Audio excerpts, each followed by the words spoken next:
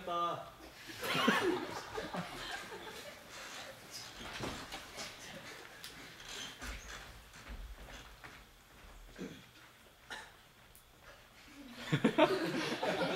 안녕하세요.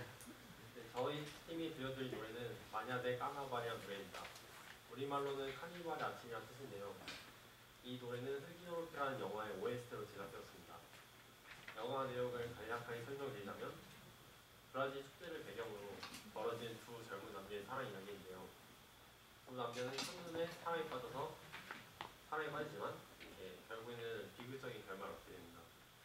여기 있는 여러분 모두 이렇게 한 명, 하나쯤은 이런 슬픈 기억을 갖고 있을 거라 생각하는데요.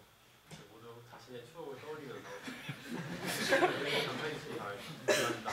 울지 마.